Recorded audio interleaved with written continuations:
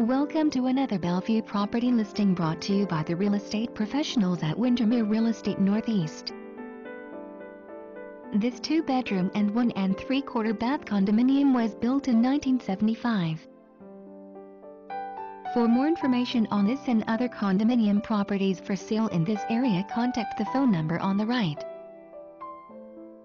Thank you for viewing our real estate video and we hope you enjoy the remainder of this property tour.